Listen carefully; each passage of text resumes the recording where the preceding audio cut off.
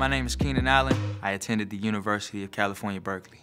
The transition from defense to uh, wide receiver was um, it wasn't that hard. Uh, I actually played the Army All-American game, just straight defense. I didn't play any offense at all, and um, I didn't like it. Uh, I didn't have the ball not one time. I, I, just felt like I could help the help the team if I had the ball or had a chance to get the ball, and um, just try to put some points on the board. So that's that's how I wanted to play receiver instead of DB. Was the transition hard? Uh, it wasn't hard, but you, then again, once I started playing just offense, I would be watching defense like, man, I could I could have made that play. So uh, yeah, it's definitely hard.